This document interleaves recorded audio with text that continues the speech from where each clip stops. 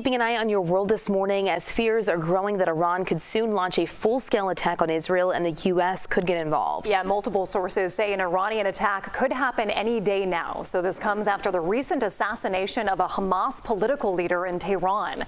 U.S. Defense Secretary Lloyd Austin ordered a guided missile submarine to the region in an attempt to deter a possible attack.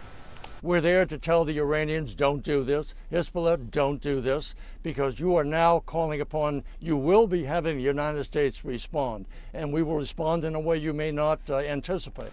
Ceasefire talks are set to resume this week between Israel and Hamas. Hamas is asking mediators to present a plan based on previous talks instead of new negotiations.